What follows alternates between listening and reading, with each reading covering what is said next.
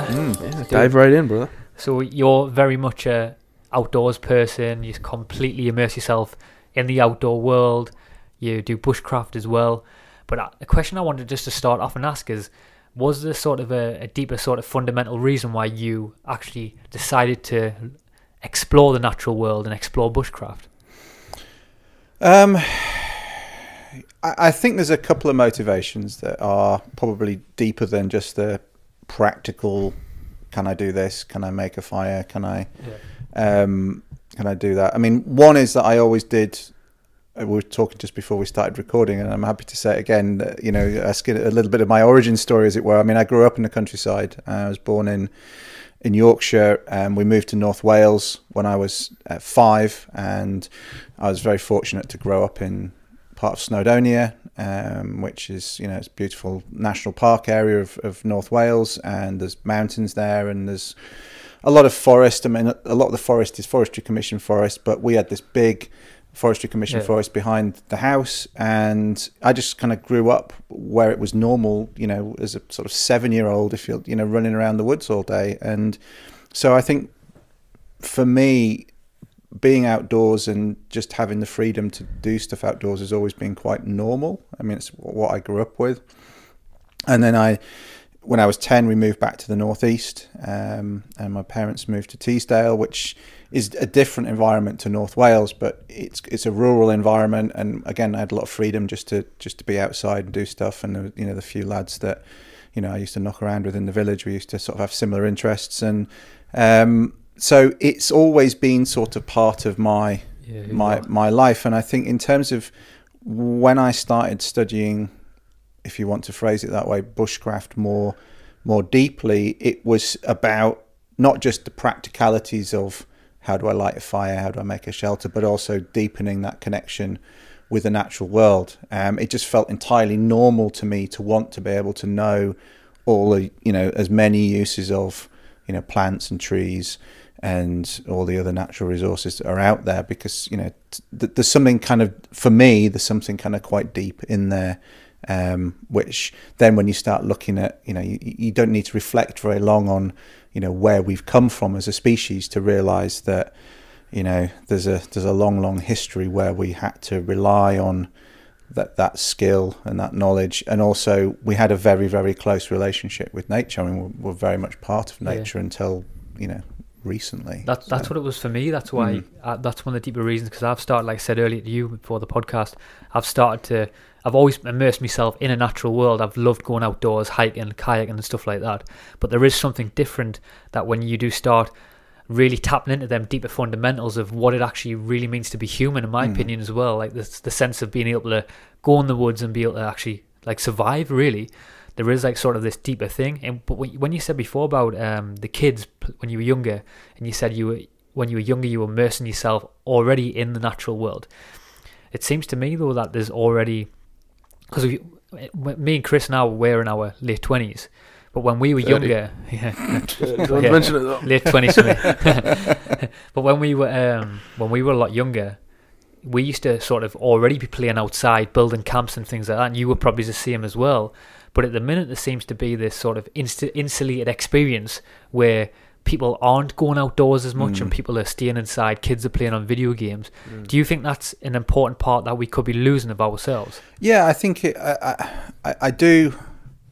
I, I don't know if I worry, but yeah, I do notice that kids are not playing out as much as they used to. I mean, and it wasn't just you know we're in the woods all the time. You know, we're you know I I, I was a I was a, in my yeah early teens just uh, yeah from from 10 until like 13 that was the kind of BMX craze Yeah. era.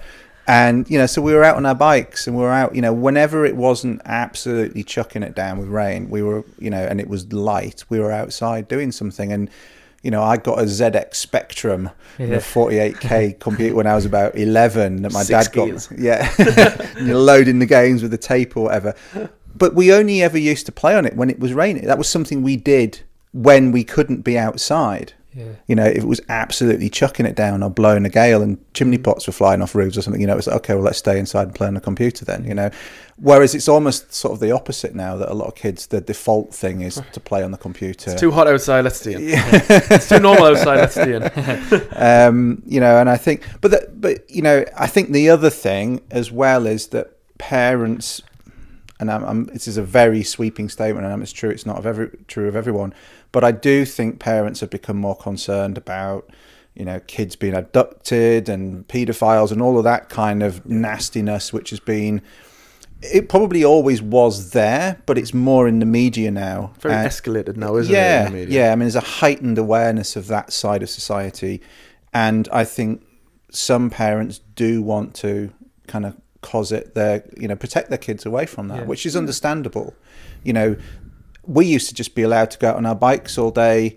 You know, we didn't have mobile phones. You know, there was no way of our parents checking if we were okay. You know, we'd go out, you know, I'd come home from school, you know, have a biscuit, get changed, go out on my bike for four hours, come home, have my tea, go to bed. And, and there was no way of knowing Yeah. whether I was all right or not. And and so I think the expectation has changed as well. That the te- the other side of the technology is that you know kids do have phones or they want phones, but parents kind of feel like they almost need to be checking on their kids more as well. So I think there's.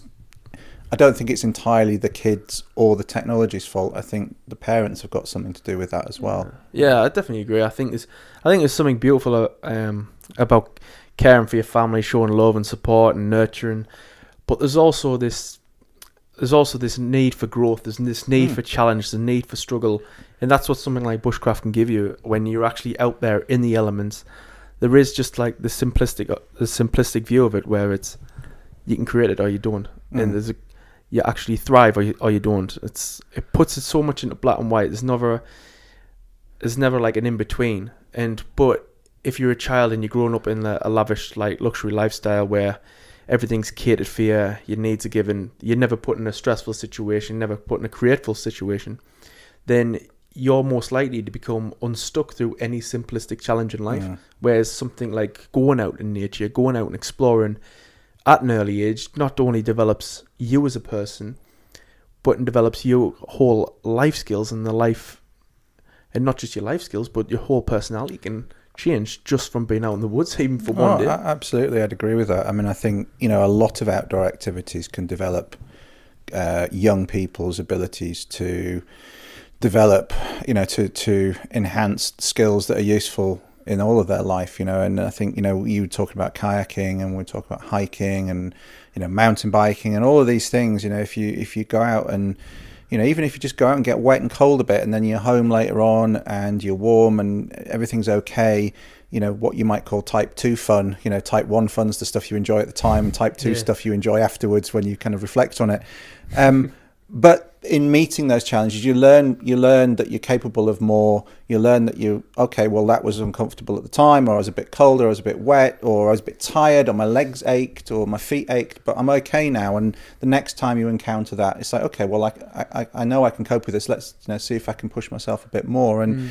you know, and I don't think that's necessarily specific to any outdoor activity really. I mean you can you can see a lot of that in a lot of different outdoor activities. I mean when i was when i was 10 or 11 i wanted i don't know why i, I wanted to learn to ride a horse. Yeah. I want and and um, so I used to and I started learning to ride when I was um, when we lived in Wales, and we used to there was a place we used to go to, and I used to get dropped off there, and I used to you know go on these horse riding lessons and things, and then as I say, when I was ten, we moved to um, we moved to the northeast, and then the only place really that my parents could find that did horse riding lessons near where we lived was right at the top of Baldersdale, which is absolutely freezing even in the summer. You know, it's Yeah.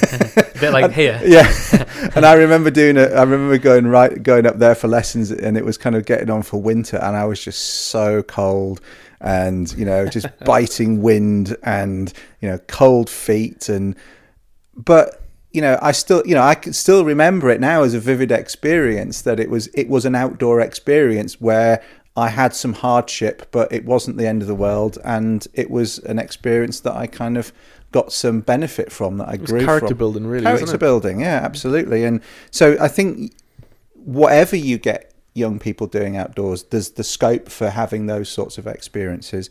And then I think, yeah, I mean, with with the bushcraft side of things in particular, some things are quite easy to achieve. Um, and it's the same with any sort of skill set, isn't it? Some things are easy, some things are harder. And if you're if you're trying to light a fire in a particular way, um, the as you were saying, the outcome is kind of bivalent. It's like you succeed or you don't succeed. Mm. You get a fire or you don't get a fire. Yeah, nature's unforgiving as well. It is, yeah. It doesn't. It doesn't really care. It's not on your side, but it's not against you either. It just is, as far as I'm concerned. And you know, it's up to you. You know, if you want to make a fire with materials that are there in nature, it's up to you to select them properly, prepare them properly. You can't cut corners because the definition of cutting a corner is something that doesn't work. So you can't do something that doesn't work. You have to do it right. Um, and the and the evidence that you've done it right is that it, you've got a flame and you've got a sustained fire. And some methods of lighting fires are easier than others, and some materials it's easier to, to light a fire with than others. Some um, conditions, you know, warm and dry, it's easier. Cold and wet, it's harder.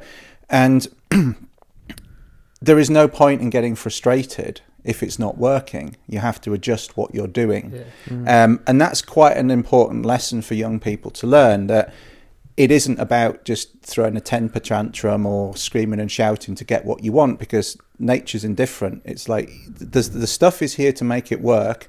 You have to adjust your attitude and adjust what you're doing to make it work. And that's also, to be honest with you, it's not just a lesson that a lot of kids would benefit from learning. It's a lot of adults would benefit Yeah, from learning 100%. learning that lesson as well. Um, you know, you, and it's embedded in the way that people think. You have people saying things like, "This this isn't working." yeah, yeah. I you know this file. I you know these things. I, I can't get my file. It it's not working. Well, no, they're not doing anything unless you do something with them. It's down to you to make it work, and it's that sort of externalization of of the problem. It's actually no, the problem's you. Yeah. Yeah, and, and that's not a, that's not a fixed thing because again, people think of it like I can do this or I can't do this, and I think that's one of the other things I always try and teach people is that mm. your abilities are not fixed. You know, there, there's this nasty thing that I don't know where it comes from that a lot of people have, where they they say I'm not good at maths, mm. I'm not good at I'm not good at knots. That's a common one. I'm I'm no good at knots. You uh, know, a, a lot of people say. I know we were talking about knots before, but it, Yeah. it's a, it's it's a general thing that a lot of people say. I'm no good at knots. I'm no good at like when you start teaching people navigation and you mention degrees or angles or people said you know they they they, they close off. You know, it's like there's a mental, and it's due to some experience in the past, probably with a bad maths teacher or Yeah. struggling to tie their shoelaces, and you know, th- th- those little negative experiences that people have, and they sort of grow to be bigger than they are. But also, nobody ever tells young people that those things aren't fixed. Mm-hmm. Okay, not everyone's going to be a mathematical genius. Not everyone's going to be a complete and utter knot nerd that knows, you know, a thousand knots. But you can get better at these things with practice. Uh, you just have to apply yourself to them. And um, you know, one of the great things I think about taking people outdoors and teaching them about what's possible is that hopefully over time they realize and they can reflect on where they started and where they've ended up at that point in time that they can see that their abilities are developing and that there's a broader lesson there which is oh I can learn and I can grow and and that's true of adults as, as it is for kids you Yeah. know so that's one of the things that one of the deeper things that I get out of teaching people it's not just about can you light a fire can you build a shelter what what can we eat it's about developing yourself as a as a human being so going back to what you were saying before I, I love that because I think Yeah. it is. There, is a much more deeper. I mean, ev no matter what you do in life, you're always going to see the top layer of whatever it is. But all them different subjects, whatever you pursue, there's like there is a, a much more deeper sort of fundamental thing that does spark something within your own psyche, whatever it is. Do you when you was talking before about um sort of the the skills and things like that of of of people understanding these skills and partaking in them and, and sort of enhancing an ability that we may have already always had but we've lost. Do you think that these all these different skills of sort of bushcraft and sort of understand how to build a fire or whatever it is, survival to a sense, do you think that is to a certain degree we need to actually it's a it's it's an important part of our evolution as a human. Like we need to actually there'll be a time where we may not have to get back to that or something like that. Do you ever feel Well, that? there's, there's a number of, there's a number of different things in there. Um, so I'll, I'll I'll try and disentangle them So a I little just bit. waffled there. No, no, no. It's, Untangle it's, the it's, no, no. It's fine because there's a couple. you of, untangle the knot. Make a fire with that one. yeah. Yeah. Ah, Mr. Bushcraft, what can you know that? what can you build with that? so there's there's a few things I think I think in terms of these things being important in our past, I think I, I wouldn't I wouldn't necessarily say that the skills are innate. I mean, you've Yeah. got to learn you've Yeah. got to learn them, but I think there are certain things which, if you're honest with your true nature, that they'll resonate with you. Like it, it's hard for anyone, like particularly on a bit of a chilly evening, it's hard for anyone not to appreciate sitting around a campfire. Even on a summer's evening, you know, sitting around a campfire with other people, it creates a certain atmosphere which mm. somehow is quite primal. And I, and I don't mean that in a kind of base sort of way, like, you know, like thuggish violence. Some people say, well, that's quite v- Yeah. primal. But I mean, there's mm. something quite that resonates with our nature about that coming together around a fire. It's clearly, and it and it doesn't matter where you are. You know, you can go to, you know, you can go down to the woods in in Britain, or you can go to Scandinavia, or go to North America, or go to Australia, or wherever, and people have a similar attitude towards, you know. Something about coming together, and and soon as there's a fire in camp, and people are sitting around, and there's a there's a certain it doesn't matter whether the, the, there's a bricklayer or a chief executive or a doctor or you know somebody who's you know a dry stone waller or a nurse or, or, or whatever everyone's kind of people around the fire. And that's one of the things i notice on on my courses as well that you know you get people from all sorts of different walks of life coming to, to want to do a bushcraft course for example but you get everyone around a campfire and there's a commonality there Yeah. with a lot of people which is which is fantastic. And that to me sort of speaks that particular instance it seems to me that there's something kind of resonates quite deeply with us about Oh. that that environment because people tend to react to it in a similar in a similar fashion regardless of their background. Um, so I think you've got to learn the skills of how to light a fire, like you've always had to, you know, and there, and there will have been some, you know, Stone Age uh, genius that's come up with certain jumps forward. I would imagine, you know, that people ponder this question of how on earth did we get from being, you know, what what people often characterize as you know uh, you know a sort of chimp-like creature up a tree in Africa near the Rift Valley somewhere to people who could you know light and control fires at will. At what point did that happen? And clearly there's a lot of there's a lot of you know speculation and there's a lot of work being done and you know to, you know it's all allied with growing of brains and size of you know and then pressures from the environment and all these sorts of things. But the the fact of the matter is that at some point somebody figured out how to do it and then that skill was probably passed on.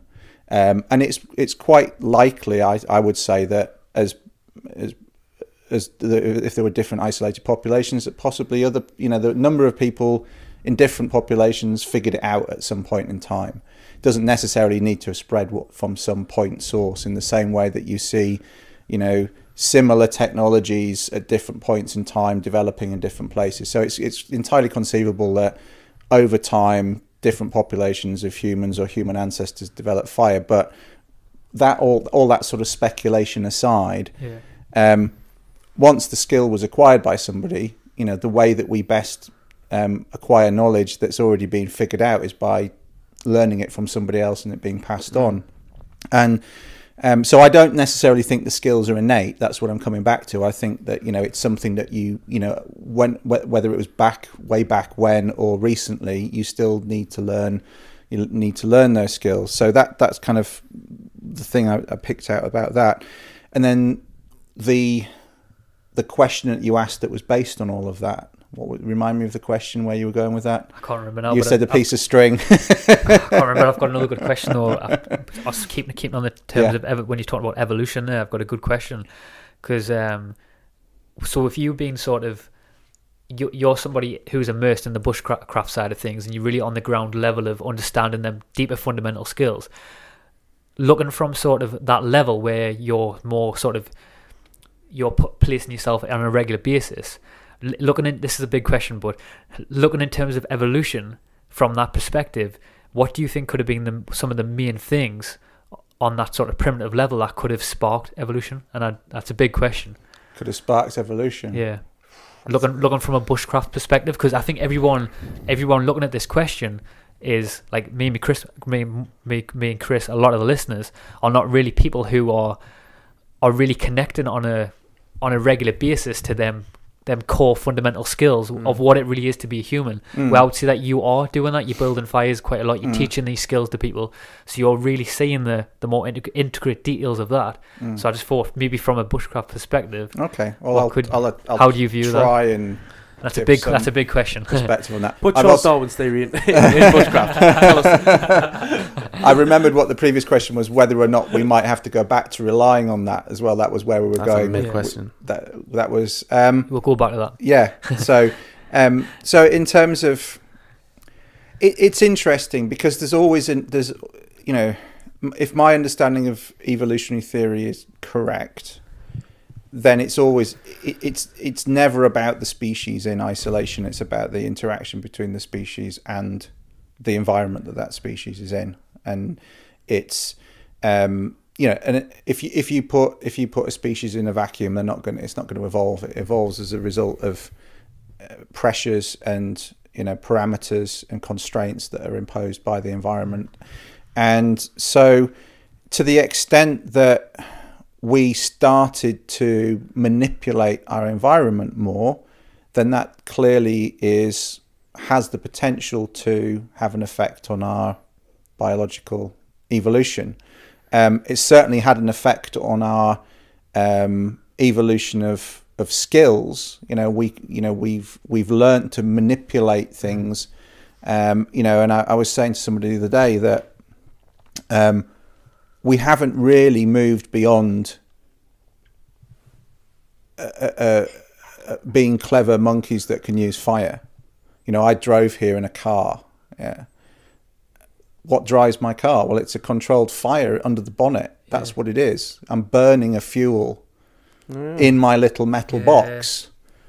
And, you know, we're still very reliant on that technology. And we're moving to a point where, okay, we've got electric cars and we're harnessing wind and solar and stuff. And so we're kind of, in a way, we're kind of bypassing fire for the first time there. We're sort of starting to tell ourselves we need to stop burning so much stuff for various reasons. But actually we're still kind of at the end of that big long okay we've we've learned how to make a fire. What can we do with it? And some of the technologies that we're only just really starting to maybe stop using mm. It's still very much reliant on that you know burning coal burning gas for power stations you know. You know even in even in my lifetime the number of people that used to have you know log fires or Yeah, coal coal, fires yeah. in their houses compared to now is it's reduced massively you know modern houses they're more well insulated we're using central heating and that energy is coming from somewhere else we're still burning gas a lot of us and we're still using electricity which is a lot of it's coming from burning you know still but from burning fossil fuels but we're only just moving beyond this being kind of quite quite creative clever monkeys that can burn stuff Yeah. and um Wow. and so, you know, to the extent that we started with a campfire, you know, by bashing rocks together, maybe, um, and it probably was um, some, you know, somebody knocking rocks together, maybe trying to make something else that realised that you got some sparks off it. How they then made the leap to, I can light something with that. I, you know, we can speculate, but we're never going to know for sure. Um, not unless somebody invents a time machine. We're never gonna we're never gonna know for sure how you that never know. no Where the whale going like? yeah, you never know. Um, you know, and some people, you know, it's harder to find. Ever, you know, clearly, lithic stuff, stones, stone tools last a long time in the archaeological record. So people got a very good idea of how long hominids, you know, have been Yeah. fashioning things out of rock, and you can sort of start to, you know, look at fire hearths that are being found and try and carbon date them and, and date them with other things that are found in conjunction with them and get some idea of okay how long have we been using fire? And it seems to seems to broadly match with when we, you know it was sometime after we started bashing rocks together to make things. Um, so it's conceivable that that's how we, we got to that point. I mean we would have been, I would imagine, if the if our understanding of the history of the world is um, at all, you know, accurate, that we would have had some experience of fires because fires happen naturally. I mean, we've seen that Yeah. a lot recently, you know, with the forest fire, with the dry summer we've had Mhm. recently, you know, the forest fires in North America and Scandinavia and even upland fires in the UK. There's been, you know, they happen naturally and it isn't just people being careless. You know, a lot of forest fires around the world happen because of lightning. And that's a natural phenomenon. I'm sh- I'm absolutely sure that you know our ancestors living in whatever environment they lived in would have had experience of fire because it Yeah, it, occur- it, it would occur naturally. And so at some point, um, maybe they made the connection between what they could generate and what they'd already experienced in nature.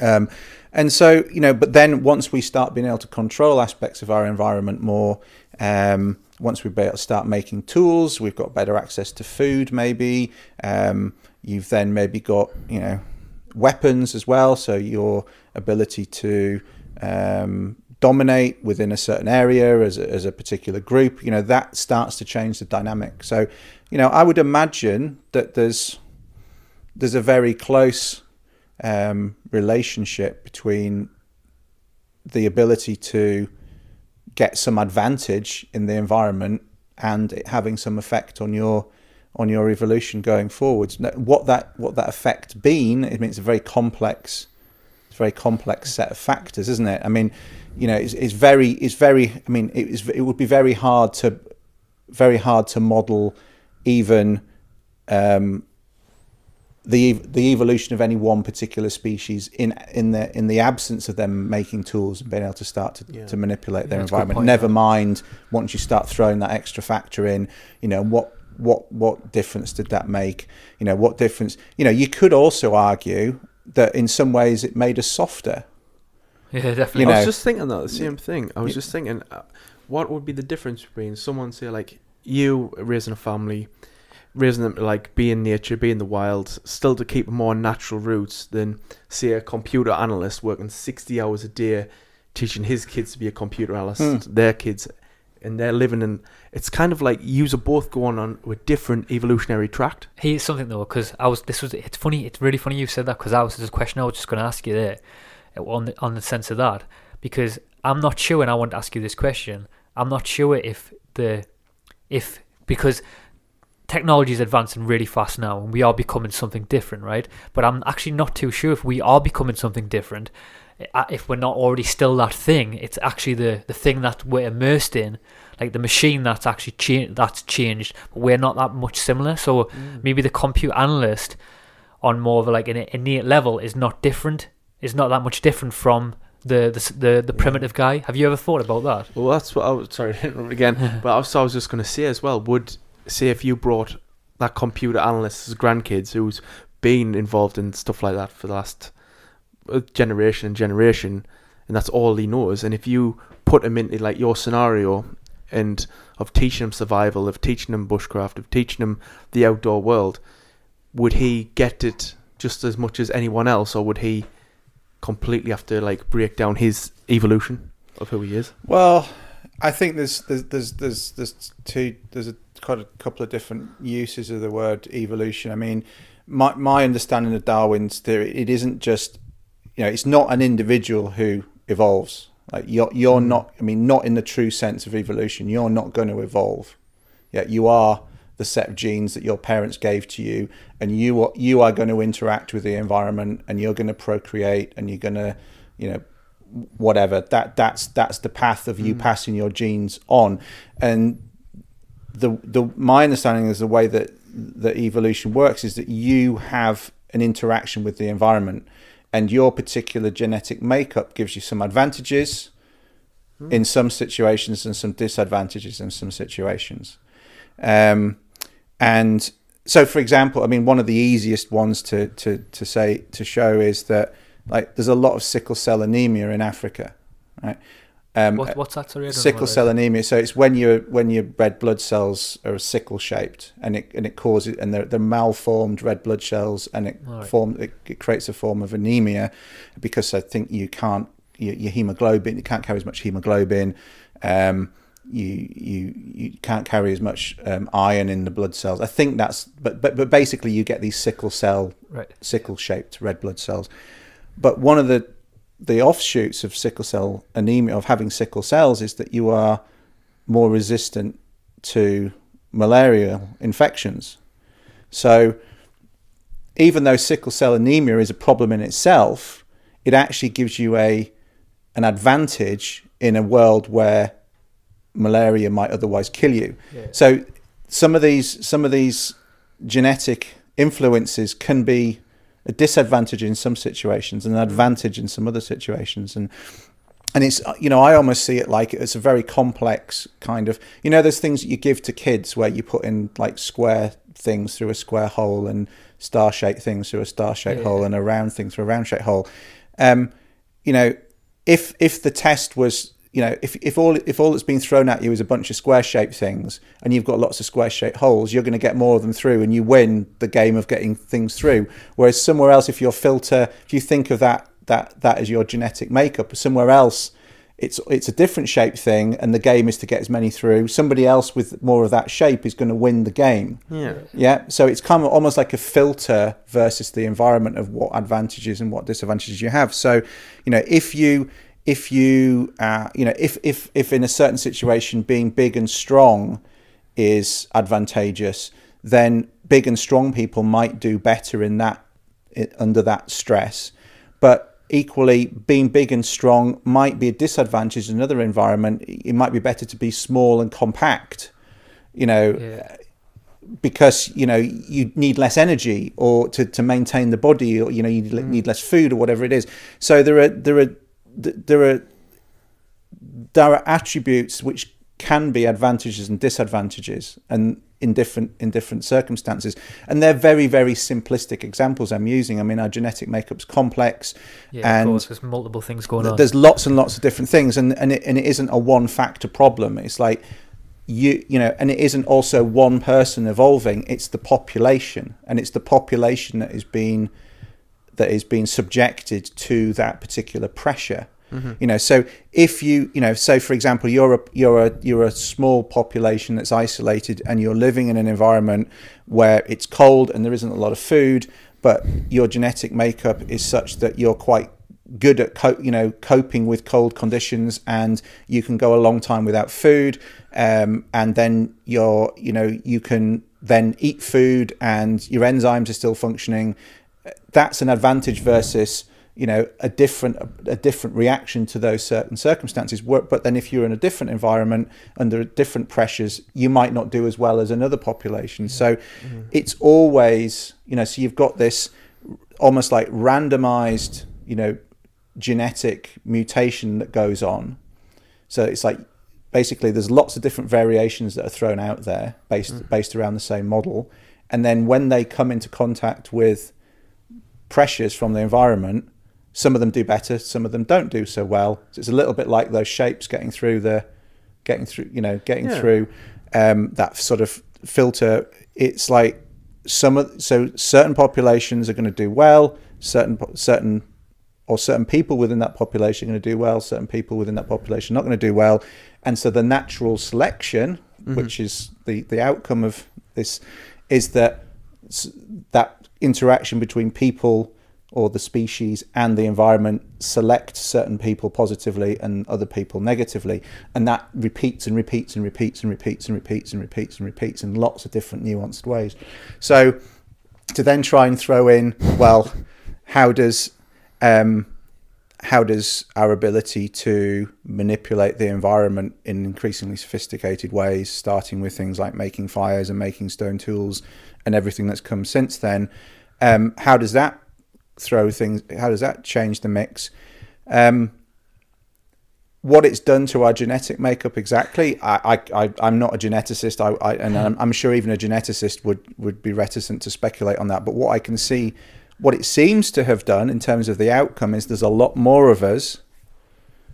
You know, if you look at the, you know, as as it's become easier, as we've become better at manipulating our environment, it's been easier for more for, for there to be for there to be more of us. Um, it's it's you know so it's it's harder to die now Yeah. Yeah. as a human than it has been at pretty much any point in history.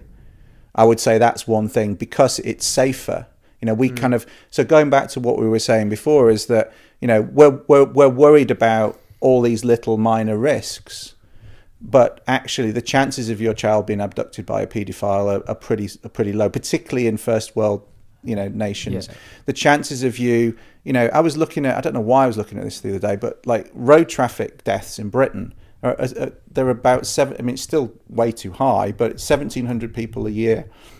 In the past, it was you know at times it was nearly ten thousand because a lot of what we do to manipulate our environment is to mitigate the, the risks and it's to you know things are safer you know air air traffic is safe a lot of you know given the number of you know driving over here tonight the number of the number of cars on the road at this time of day it, it's colossal Crazy. but we pretty much managed to do it without killing ourselves and each other which is quite surprising and It's Uh, like isn't it? it's, it is incredible when you Yeah, like this, the number of cars 2,000 on the people A1M and nobody's really dying you know seventy miles an hour. yeah, just- yeah, yeah. Um, so my point is that we we we tend to like to try and manipulate the environment in a way that allows more of us to survive for longer, which makes complete sense. I mean, um, and despite all of the wars and famines and things we've had, even in the 20th century, there's a lot more of us now than there were, you know, 50 years ago. There's a lot more than 100 Yeah. years ago. You know, but sanitation's better. Um, drinking water is more uh, readily available. Um, antibiotics, all of these things have mitigated against environmental pressure. You know, it's it's you know it's easier to get clean drinking water. It's hard, it, even if you are infected with something that might have been, um, you know, some pathogenic organism which might have done you in in the past. We can often get around it now, and so all of these pressures that we used to succumb to were now on the whole, you know, still there's plenty of people dying Yeah. of all sorts of things every day. Don't get me wrong, but we are more resilient. We've we have put things in place. Now, whether that actually makes us as a species more resilient is a different gonna- is a different to say- question. That's a good question. I was Yeah. just about to say that because when you're on the subject of even the sense of driving, so the sense of driving could be seen as, as more it's more secure, even though it's probably not. But the sense of driving, you could be more safe because you you're not exposed to the natural um, environment. You're not exposed to rain. You're not exposed exposed to wet.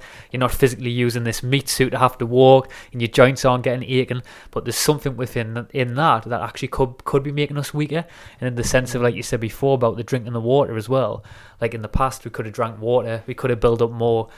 Our immune system could have got a lot stronger. I think that goes for so much, so much stuff. Yeah, but I, I don't think that's necessarily evolution. That's just your physical.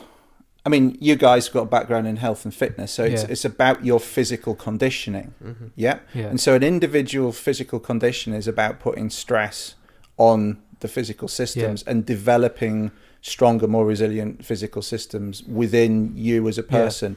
And also the mental side of things as well. You know, we kind of often sort of dislocate the brain from the body, but it's one system. Mhm. And there is a there's a learning that goes on.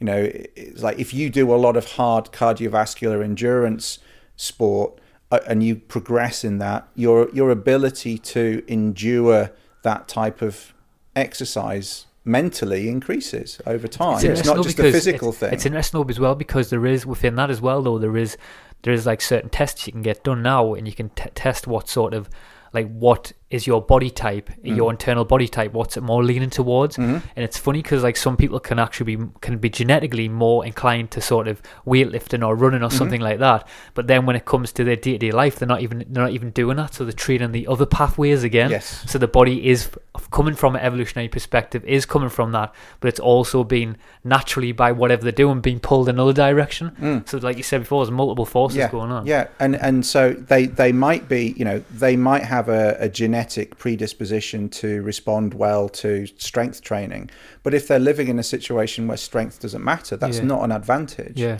Whereas if they were, say, living as in, in some sort of gladiatorial Yeah. existence where being big and strong was an advantage, Mm. you know, whether that might be in combat, whether it might be as just part of their life, you know, that of Yeah. physical activity that they were doing to to exist, then it's an advantage over and above somebody who wouldn't be as big and strong given the same stimulus. And you know, people. I mean, I, I want to try and avoid this not sounding racist. It's not supposed to sound racist at all. And if it comes out that way, I apologise. It is. It really isn't. Um, people often ask why are why are black people really good sprinters? Why are they really good boxers? Yeah. What? Oops, sorry. There was there was there was an evolutionary pressure put on them, and it's and it's a shameful one, but it was slavery. Like the bigger, stronger, more fit to survive guys survived, mm. and and that's and that's not me making that up. That's a that's a fairly, as far as I know, it's a fairly well yeah. established theory. So where there is where there is pressure on a population where certain physical attributes give them an advantage that situation selects the people that have got that advantage the the unsavory flip side of this whole evolutionary thing is that it generally involves lots of people dying that don't make it. Mm-hmm. That's that's the flip side. So you know we we keep worrying about oh we're not evolving we're not stressing ourselves. But for that for it to work you need it needs to be existence needs to be so marginal for there to be right, that. do you know what i mean Yeah, I it's like you know it's like understand what you it's like if there if there were us three and a, and 30 other people and we were put in a really difficult situation to the extent that some of our fit different physical attributes meant that some of us survived and some of us didn't that's natural selection in action That's nature, that's- na- nature operates like that as well. Nature but that's does. not a situation that most people want to live in for the good of the future of humanity unfortunately yeah, yeah, One of the best examples of that. or that. fortunately yeah. The, one of the best examples of that, which shows individual genetic makeup versus geographical genetic makeup versus a collective individual um, genetic makeup, is the story of Markus Torgeby, who was a, um, who was a, You would um, like this book. Mm. Yeah, really it would. was, it's called The Runner. It's a um, really good book, and he was So basically, to explain what the runner is for anyone who doesn't know. So basically, the runner, me and Chris have both read it just to give you context. Mm. But he's basically a guy who sort of lives in the modern day world, and he's had enough of society, and he runs away and lives in the woods, right and he learns a lot of skills. Yeah. Basically, and he spends he spends four years in the woods just running every single day. He's from the um, Sweden range, Mm. so he's infused his body to be more cold resilient, and he gets in a run because he still competes um, in the competitions, and he goes on a run. He meets a lot of Kenyan athletes Mm. who are running, and they beat his time. And he was um, one of the Swedish amateur champions, and they beat him by an hour Mm. on this run. He couldn't believe it. So he went to the coach and went, "How do I run like that? I'll do whatever it takes." And he went, "Come to this this flight, get this village, and your train will begin." Mhm. So he does that, and he gets there, and he follows their training regime to an absolute T, their diet to an absolute T. Each every single aspect of his life revolved around their their exact form of current training, what they were so he matched their training and matched everything, but he everything. never had the genetic capability mm. or the geolo- geographical capability from the genetics from their evolution. So what happened was he lost so much weight. He actually became so thin, even though he was like thin to their level, Mm. he couldn't catch up with them. He was completely out of his element just through the different bone structures, the different um, density. He had to come to the realization that he couldn't, whatever he done, no matter how far he progressed there, because he was there for about was it six to twelve months? God, it was a long time. I think it was a year he spent Mm. there. No matter what he done, he could never do it Mm. There's too much genetic differences. Even though he can put himself in there, but it- like you said before, the evolutionary yeah of and and and it goes it goes to i think it goes to reinforce that these these genetic differences are marginal and they're only when you're right at the out so if you think of like most people's ability as a kind of normal distribution or whatever distribution it happens to be mm. it's it's the far end of the distribution. So if you like if you said can you get most people to run 5k in a certain reasonable 5k run time you probably could. You know you probably get 80 90 95% of the population with an with you know 6 months training to be able to do that you know unless they were you know disabled or they had you know severe cardiovascular disease already or whatever Yeah. most you know, re- you know, reasonably healthy people, well, not even reasonably healthy, but most people, you could probably get to do that. But then as you increase the distance or increase the speed for that distance, the number of people that you're ever going to be able to get to do that decreases, mm-hmm. doesn't it? You kind of you're further and further out into the distribution. You know, you're you're right at the margins, and it's you know it's the same with like how many people are ever going. You know, even if they try trained, would are ever going to be able to lift at a competitive Olympic weightlifting level? Not many. You know, how many are ever going to be able to, you know, sprint 100 meters at an international level? Very, very mm. few. And it does, you know, so as as as the as the filter becomes more extreme, the number of people that are going to pass that filter decreased. Yeah, because mm, yeah. to, to do that as well, obviously to do that as well, you've got to give away a part of your other self. So like you say, if in the past where hunter gatherers or people who were bushcrafting, they would have to be more flexible and have to be balanced in many different areas. And like you said, there's as civilization, society becomes more sort of flexible and you don't have to go and hunt your own food you can just be more marginalized in one certain area of your life you can put all your focus in there and that's why yeah. things in the world are in every area really that's why the world in general is starting to become more technically developed because our basic needs are met and then when your basic needs are met civilization goes yeah well it's that i mean there's a number of things there aren't there? i mean there's maslow's hierarchy of needs yeah. you know it's like you know to start off with you need food you need water you need sustenance you need you know, maybe a sexual partner, whatever. There's some basic things yeah. there that are, you know, sort of you don't really worry about much else until you get those things sorted out, yeah. and then mm-hmm. then you build, you know, and that's that classic Maslow's hierarchy of needs. And on an individual basis, that's kind of how you approach you approach life. I mean, you're not really going to worry about, you know, reconciling quantum physics with relativistic physics if you can't put a meal on the table really you know your, your yeah, focus is a much more short short term. It's like you need to focus on where, where can i get food where can i get water? But once you've got those basic things then individually you can start worrying about slightly more you know higher higher level concerns as it were. and and then as, as a, the more people as a society you have that are in that situation then the more of that stuff that's going on. And then the other thing as well, of course, is that you then get specialization.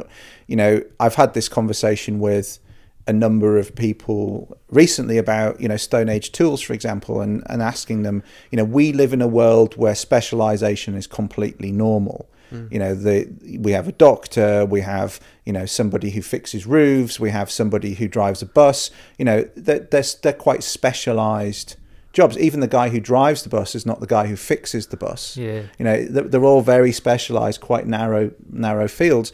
Mm. And in the past, partly because life wasn't as complicated as it is now, but in the past, people would have been more generalists.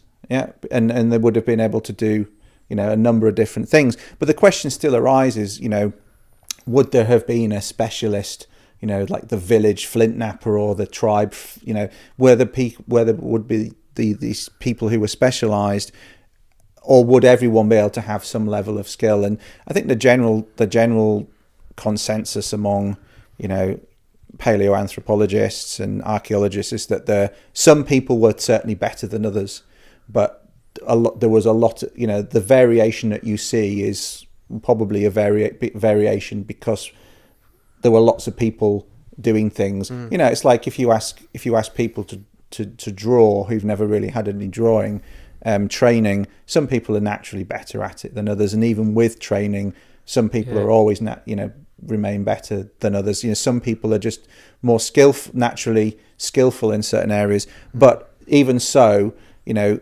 people. It seems to be the consensus that people would have had a, a generalist skill set, and um, that's more possible when life's less complicated. Like I remember my dad, he used to do most of the most of the work on his car, yeah. you know, himself. And this is, wasn't that long ago. It was like 30 years ago. He'd be draining the oil, changing the oil filter, you know, doing all these things that you can't do now on a modern car because of you know it's all sealed in. There's all the electronic timing stuff. There's you know you, you can't fix a lot of things yourself with a modern car. So it has to go to the garage, they have to plug it into a computer, you yeah. need a specialist technician.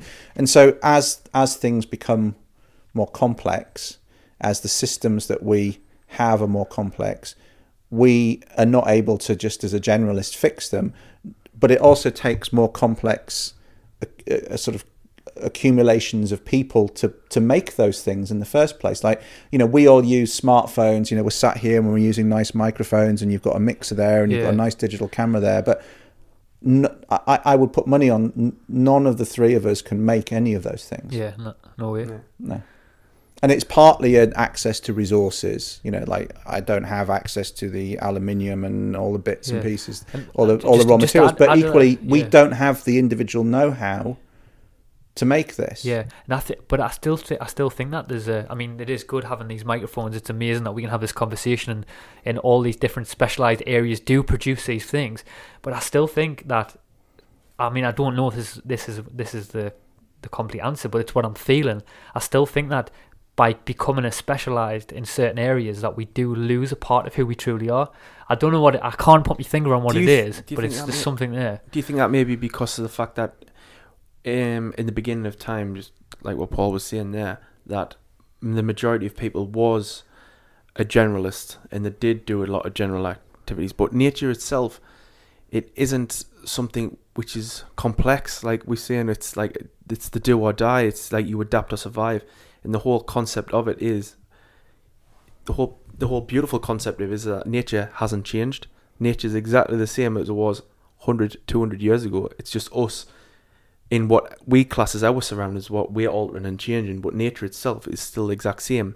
So you put a human being in that situation again, you throw me out in the wild.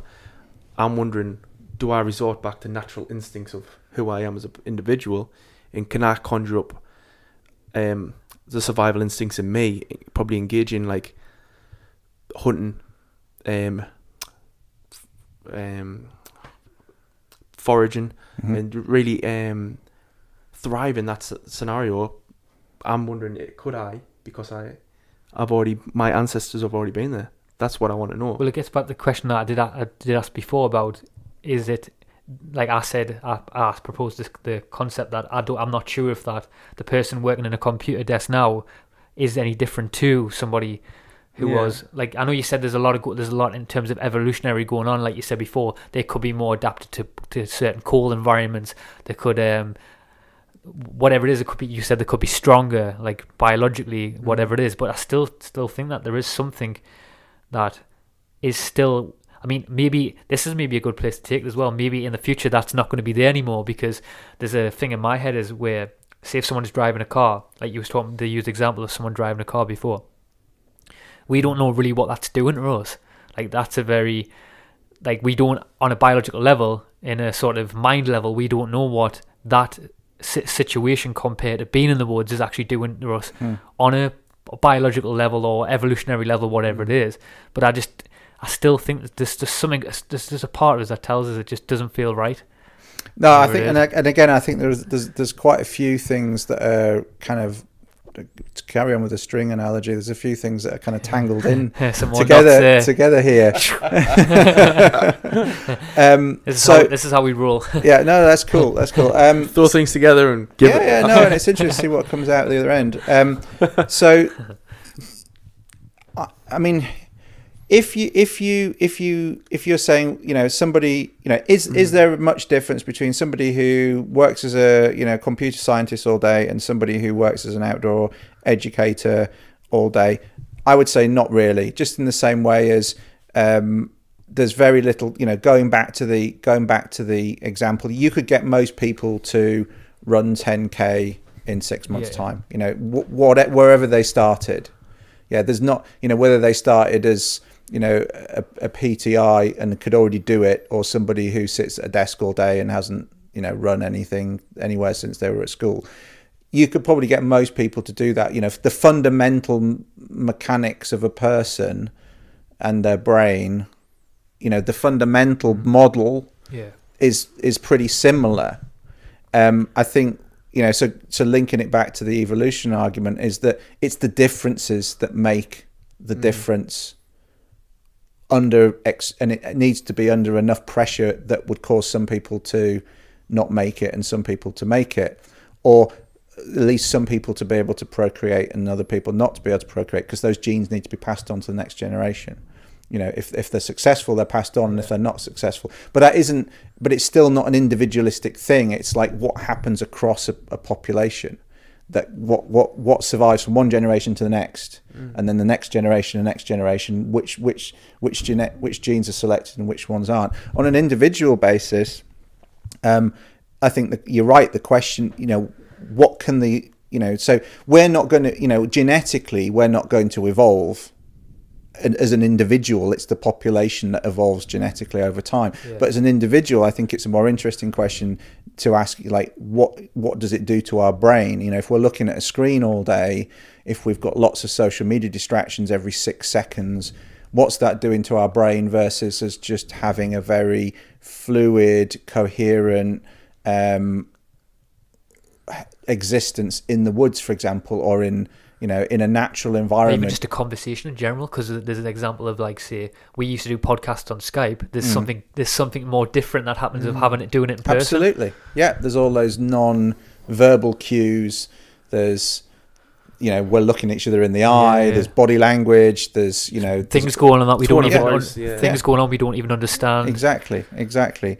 Um, so yeah, it, it is an interesting question to ask. What is it doing as to us as an individual, and what is it doing to us as a society? Um, you know, we're increasingly distracted. Um, people are less patient. Um, people need to fill their time with stuff all the time. Um, people are agitated. Uh, people get annoyed with each other, you know, over stupid stuff. There's there's a kind of general antsiness about the way we live these days, which I'm sure there are disagreements and things that go on in, you know, in in hunter gatherer societies and, and whatnot. But in my limited experience, they seem to be quite chilled a lot of the time. They seem to have more time. yeah Um, and it and and that's not to say that violence doesn't happen in Is even. it just the environment that well, I, I, I mean, I, I do think. I mean, there's there's an increasing amount of evidence, isn't there, that people who have regular contact with nature, it does it, it, it does actually change your brain. You know, that if you do if you do MRI scans and things of uh, of people's brains, that you know it's the same as meditation. You Yeah. can show it actually has a physical effect on the brain. You know, mm-hmm. even just spending a small amount of time in a green environment has been shown to have a change, have, a, have uh, has, a, has a, a visible effect on people's mood. Mm-hmm. Showing people pictures of trees has a visible effect on their mood. Did you see the, there was an experiment where they had two patient, two groups of patients? One group of patients was left in a white room, another group of patients with the same conditions. I know there's obviously a lot of things influencing that, but very much the similar conditions. And the group who was in, immersed in nature actually healed themselves better than Mhm. the people who were in the yeah, blank there's white an room. increasing amount of studies like that. But the one I found fascinating was this concept that you could even just show pictures of natural environments that's to really people and it improved their moods. You didn't even have to put That's them in the environment. isn't it? Yeah. So there's something very, again, deeply wired there in terms of our connection with natural environments. And so there's two concerns there. I mean, one is that people, you know, people are not spending enough time in nature and what is the effect that that's having on society that that's one concern Oh, and th- themselves as well of course um, but the bigger the bigger concern is that we need to make sure there's natural environments there for people to Yeah. actually interact with you know that we mm. that we just keep destroying them. And i think one of the dangers of people not interacting with nature is that they don't value it. And you know then there's nobody to defend it. You know there's there's there's this sort of snowballing effect that we have where you know we need to you know and this, i'm not criticizing you guys for having nice microphones but all this stuff came from somewhere. Yeah, we're, we're aware of that. dug, dug out of the yeah, you know and and i think those of us that care about nature are increasingly aware of this that the stuff that we use comes from somewhere. It's dug out the ground somewhere. It's made in a factory somewhere. Um, and that has knock-on effects. And the more of us there are that are consuming those things or owning those things or using those things the more of an effect Mm. it has and you know it's it's a concern for me is It's, that we- it's weird because there's so many contradictions within our being of Mm. what we, what we're doing and things like that. Um, what was the thing I was going to see before again? Oh, I lost trail of thought. Will it come? What was I going to say again? I had a good question I want to ask you.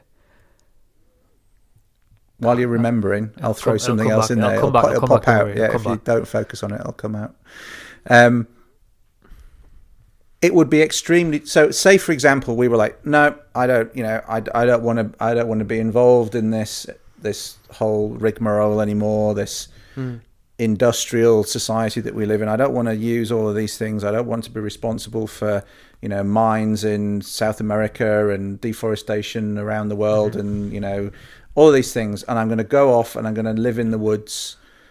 It's very difficult to do that here now. Yeah, You know, in the UK, you'd, you'd you'd struggle to do that. I mean, there's less than ten percent of the UK is covered by forest. Most of it is monoculture fields of grass and oilseed rape, and Wow.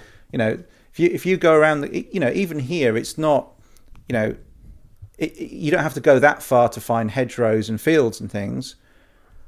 And you know, the northeast is less populated than some parts of the UK, but to actually go and find an actual natural environment is very quite hard. difficult. Mm. Yeah, that's something you know, something that isn't just entirely managed by people, and a lot of it's farmland.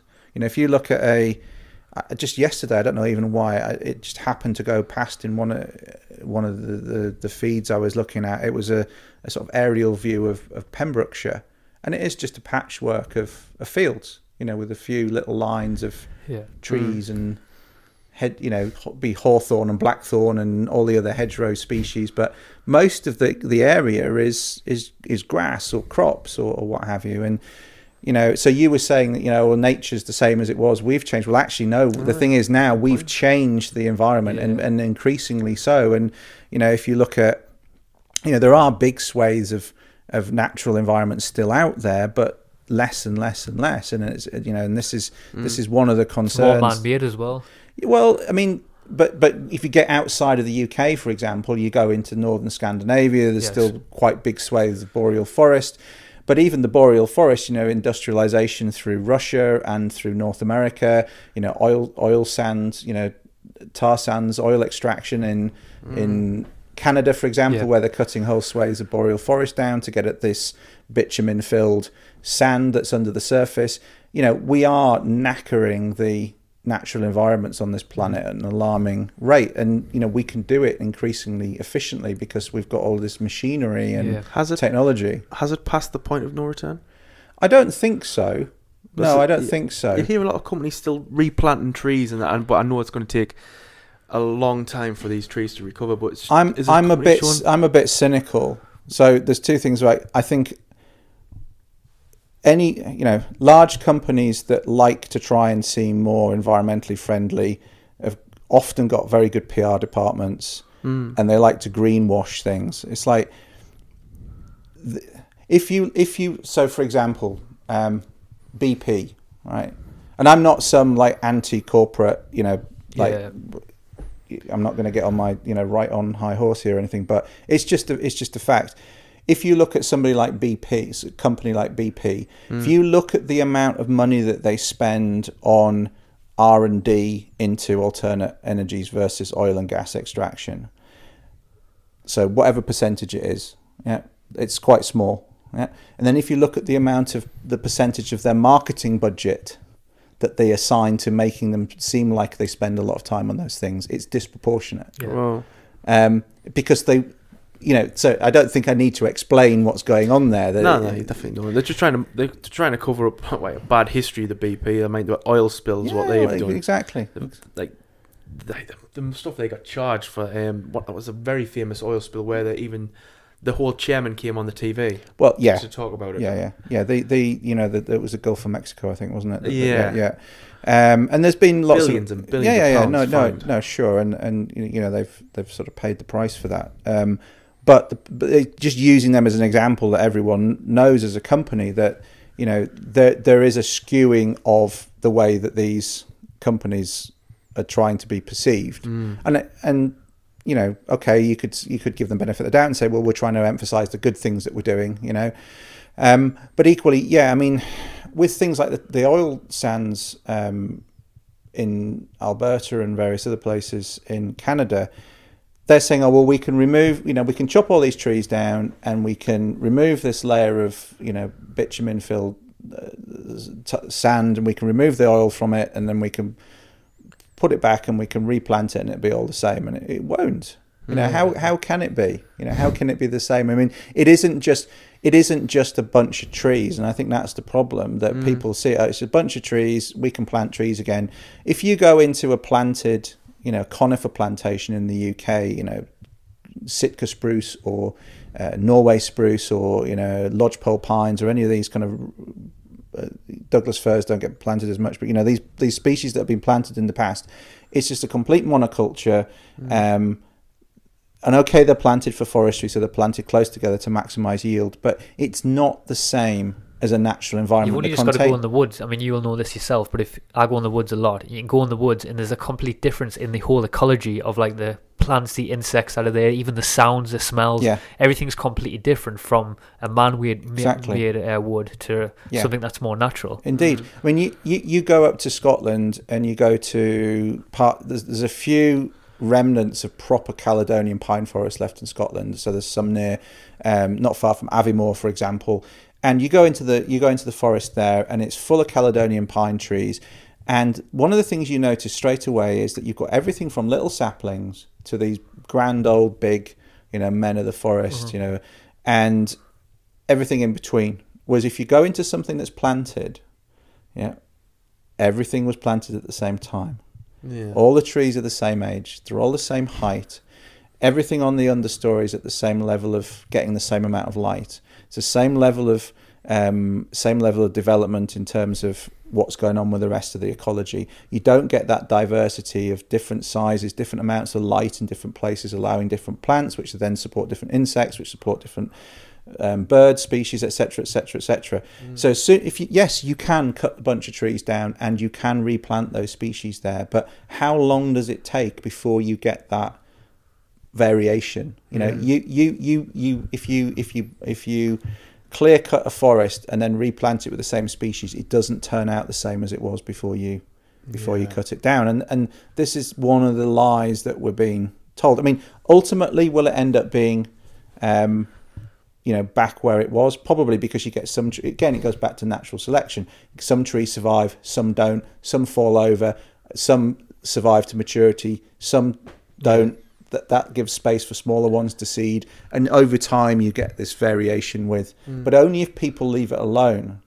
And you're asking if it's too if it's too if things are too late. What i think is really interesting is you know the question i think to ask would be what would happen if we all disappeared right now? Mm. Like, Planet if all- would if all- thrive. well, if all humans just disappeared, if, we, if they all just evaporated by tomorrow morning, what would happen? And I think the the time when you say it would just be a barren wasteland, even if we disappeared, that's when it's too late.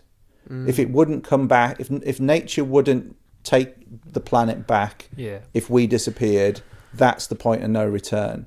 And what's really interesting is that you remember Chernobyl in the 1980s. Yeah, Yeah. yeah. If you have you seen those films where because it you know no people were allowed in there because of the radiation, it was just left. You know, around the plant. Have you seen the films of how I've much nature is there? How it's just Yeah. completely regrown. Completely returned. Yeah, and of course that there will be some issues with you know radiation, you know maybe causing mutations in some animals, and you know the, the you know clearly there's it's not a cost free thing, but it's just a really interesting accidental experiment that we've removed all the people from this place where they were having a clear effect, and mm. what what does nature do? Well, it just takes it back. So I'm seeing there's a comment. It's beautiful though, isn't it? It's somebody, beautiful somebody's quote, just- I can't remember who it was. Someone it was like a comedian. it was a comedian or something like that. It might be George Carlin or Bill Hicks or something like that. And he says like he says all these problems about pollution and global warming and stuff like that. He says you know what we do. He says how we solve all these problems. He said just get rid of the bloody humans. We're the problem. it is true though. But before um when you that I've remembered my question now, I was going to ask the question of if we sort of if if human if human beings or more human beings started becoming more in touch with the natural world and started understanding the the fundamentals of of life in general, like bushcraft and survival, and what goes into growing foods, what goes into hunting foods. Do you think that education of that would actually create a, a new lens, and then it would actually make people's day to day actions actually more sort of what's the word I'm looking for? More better, basically, hmm. better. Well, I think I think people it's it's really interesting because you know if I if I take a bunch of people into the forest and um, we start looking at maybe some. Uh, we, we do a, we do a tree and plant walk. Let's just keep it. You know, we're- going to go around and look at some trees and plants, and I'm going to talk to you about what we might use them for and what they're useful for. So we're not even really going to get into how we might do that. Yeah. We're just going to talk about, you know, just sort of we'll lay the groundwork of like let's just go and start to be able to identify some different tree species, identify some common um, woodland plants, um, some things you might find growing around field margins, and we'll start talking about, you know, native species that would be useful. What's really interesting, as soon as you, particularly with the the forest floor plants and some of the grassland plants and you know things that you find around the forest margins, as soon as you start pointing out, well, this is this is a, a good you know salad plant. This is something that produces seeds that we can eat. This is you know have a taste of this. Well, that's that's you know that tastes nice. You know have it have, have a look a taste of some of these berries. That this is a good medicinal you know plant. Um, you know it's good if you've got coughs and cold. This makes a nice tea, particularly if you combine it with this. All of a sudden, people go from standing all over everything to taking real care where they step Whoa. you know because they suddenly start they don't just see a bunch of green stuff and remember we've grown up in a in in a society and an environment where generally we're allowed to walk on green stuff. We're running around on the football field at school or the rugby field or whatever. It's grass and but there's other stuff in there as well. There's clover and there's sorrel and there's other things often in fields. You know we run around you know we um, walk around on the grass at parks and the green stuff on the ground is like carpet. You know that's Yeah. kind of the way that we're brought yeah, up. it is actually. and then once you start pointing out that all that green stuff isn't the same, and some of it's really useful, some of it's food, Oh. you're not walking on the carpet anymore. You're walking on your salad. You're walking on your medicine cabinet. You're walking on, you know, and then it changes people's views immediately. And you see that within the space of half a day of how people treat the environment that they're in. They start saying, not walking all over stuff and being careful about where they place their feet. And they start respecting it more and they, va- they immediately value it more. Yeah. And so that's just a very instantaneous example of, of the value of just showing people the usefulness of these things. It, it stopped becoming just a bunch of stuff. That's absolutely beautiful. Yeah. that, Yeah. Do you do you think in general that um, modern day society is trying to sort of shape us against our natural instincts? Well, it, it's an interesting question. I think, you know, Good question. wh- whether, you know, you, you could even ask a more a deeper question: Has modern society got a has modern society got to the point where it has a life of its own? Like there is a kind of That's a good You know, question, by the you way. know. Yeah, answer that one. No, I'm just a good asking the question. Um, but is it trying to shape us? Um, I think it it it does shape us. You know, I think you, you you are shaped by your upbringing and your environment in terms of your perceptions of the world, your your views of different aspects of the world. Um, and you know you see that even within a city you know you know even you know i don't know newcastle which isn't far up the road you know kids who grow up in a relatively well-off area versus kids who grow up in a deprived area their attitude to life is going to be very different Yeah, definitely. um, and so you don't need much of a change, and because that isn't really that much of a change, you're not take you're not taking them that far. You know, those two ways of living are not too dissimilar.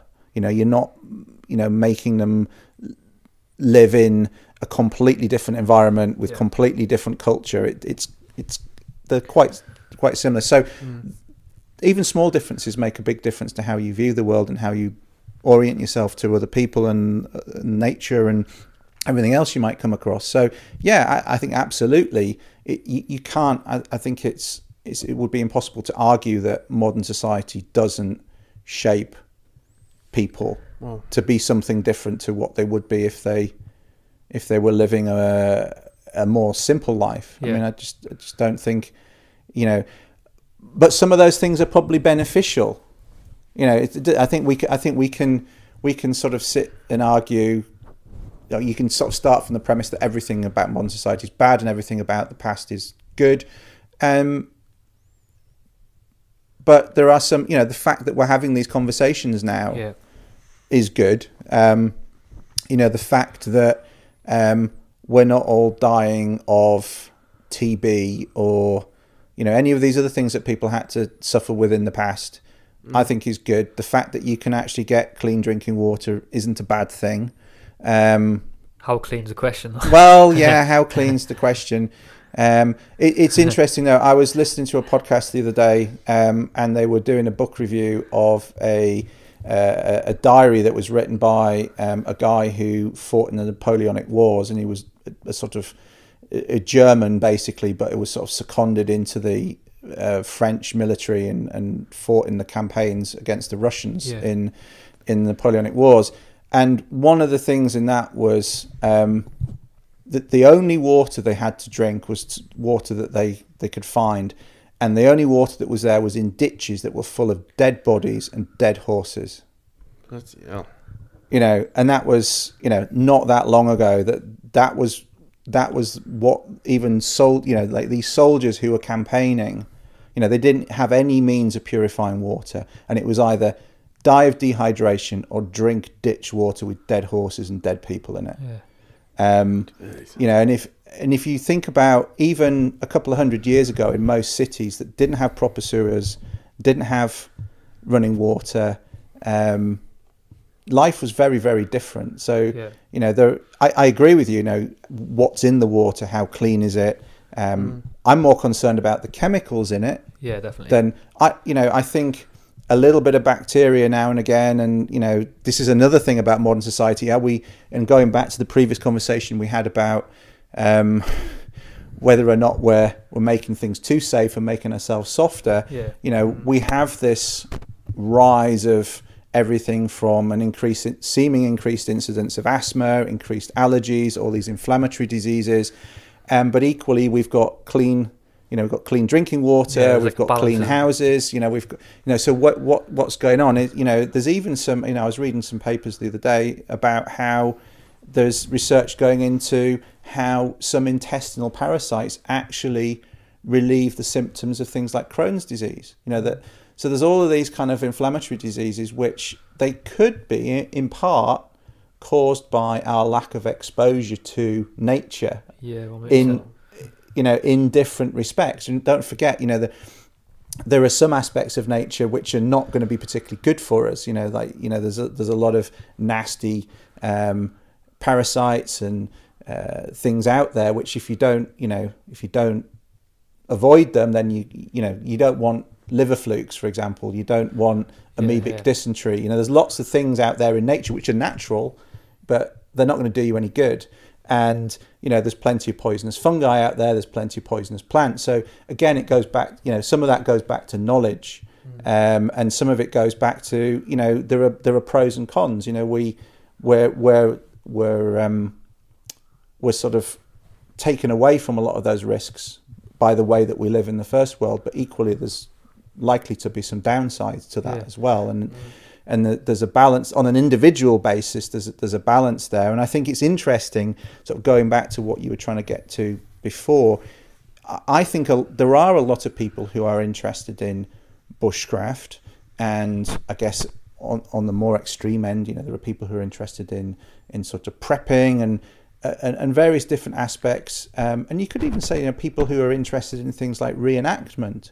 You know there's there's a kind of harking back to a different era Yeah, or to is. an area or or looking to a time when society wasn't or might not be in the future. I think the preppers are looking forwards and other people are maybe looking backwards. Yeah. um, when that society isn't there and, and things are different or things were different. And um, it's interesting that that's kind of bubbling up to the surface now as we become more removed from our natural environment. People are sort of thinking, well, what does that mean? You know, you, you guys are asking the question. Yeah. What does that mean that we're that we're being more removed from our natural environment? Um, what does it mean for us as a population? What does it mean for us as an individual? What does it mean for us physiologically? What does it mean for us um, psychologically, and even in terms of the you know the physiological makeup of our brain, as we, we Yeah. talked about it, you know. And so you know, I think if we go back to the bushcraft thing, I think there is there there's, there are clear sort of therapeutic benefits on several levels of just getting out into nature and interacting with it. And bushcraft is one way of doing that. It's not the only way of doing that, but Yeah. you know, as a modern person, to go to the woods or to go to the mountains or to go on a wilderness trip and you know, not just go in some sort of bubble. You know, where you actually go and you're interacting and you're foraging and you're um, you're drinking the water and you're you know you're actually becoming even in a small way part of the environment and you're learning about what you can use for medicines and you know even using some of those things you know if you've got an upset stomach you know make some get some wild mint and make a tea you know if you've got a an infected cut get some you know sap Yeah. from a tree that has got some natural um, anti antibacterial action and anti-inflammatory action and put that on there just starting to learn those things you know there's there's you know there's a reconnection there so there's sort of a high level sort of you know re- reconnection on a very sort of conscious level but then there's also reconnection in terms of actual sort of biology and you know you're you're you're giving yourself access to Yeah. different um, you know bacteria and you're, you know then there's the whole beneficial benefit of looking at the looking at the green stuff which even if you look at pictures apparently is good for you so if you're actually out in it Yeah. and you know you've got sun on your face and one of the other things i haven't we haven't got onto at all but you know something that i notice one of the differences i notice most between me as a person at home living in a house This is what I was just going to ask you. Actually, and me and a saying that. person outdoors on a trip or just living and working outdoors so when i'm teaching courses i'm living outside i'm sleeping under a tarp or in a Mm. in a sort of teepee type tent or what you know i'm not going back to a house every evening or go, even going back to a cabin i'm Yeah. just living and sleeping and eating outside and um, one of the things i've noticed massively is how my kind of daily cycle changes like you know and particularly towards the end of the summer so in the middle of the summer you know you've you're up you know you're quite you know it's it's light late and you're up you're happy to be up late but as the days start drawing in you really notice how you want to start to go to bed earlier um you you're sort of you're drawn to the fire more but does that rhythm of your daily life and in like the internal cycles. That's yeah, what sort you, and like. you, you know, so for example, I was working up in Scotland recently, and you know, towards the end of that period of working up in Scotland, you know, it was getting dark. Um, it was getting dark around five o'clock. It was getting light around seven in the morning, and you don't need an alarm clock to wake up at seven, you know, and it's not, you know, and it isn't just birds sing, you know, there aren't a lot of birds around. Most of them are starting to fly south, you know, and there's not a lot of, you know, it's not like the spring in the woods where it's just an absolute cacophony at dawn sort of thing. It's, it, it's just that your, you, you, you know, your melatonin levels and things are naturally, are naturally changing. There's not a lot of artificial light. Even if you're up in the evenings, you're only around a campfire. Um, and you you start to feel drowsy. And I remember saying to one of the guys, it's like it's only I think it was like half past nine or something. I said it's only half past nine, but it feels like three o'clock in the morning. And it's like yeah, it does. You know, we were having a little whiskey around the fire, and I Yeah. said, we were just chatting. As you and, do. yeah, as you do. And um, you know, we just sort of saying it feels like three o'clock in the morning. We hadn't, you know, we literally had just like a little. He he just said, "I do fancy a little tot," and I was like, "Yeah, I'll have a little a little one before I go to bed." I said, "But it does feel like three o'clock in the morning." And we looked at our watches, and it was like There was half nine. Yeah. no, no, no, no. So just to just to, to be completely ambiguous, it was nothing to do with the whiskey. It was just the fact that we were commenting on how late it seemed, Mm. but it was only half past nine because it had been dark for four hours.